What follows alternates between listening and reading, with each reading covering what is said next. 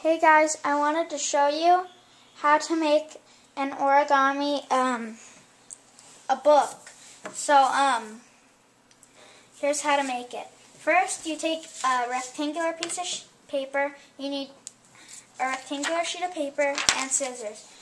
It's really easy. You just, first what you do, you fold the paper up in half, like this. Rotate it and do the same.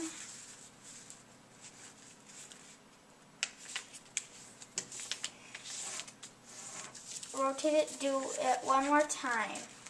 And this will basically be similar to the size of the book. And luckily, instead of that iPhone video camera where the where the um, picture was kind of filled up, this is a HD one. So yeah. Okay. Now unfold it, not all the way, just until you have four squares. Then cut. Use your you could use your scissors or tear along where the crease is.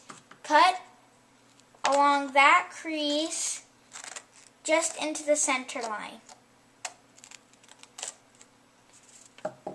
Now hold it like this. Un unfold it, unfold the model like that. Now fold the fold it in half. Now here's how to form the pages.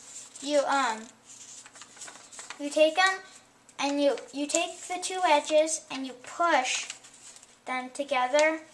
Then you just flatten them on the table. Then fold these two pages over. And then there you go, you got your origami book. It's really easy. So, yeah. So I hope you enjoyed the tutorial and remember to subscribe. And uh, bye-bye.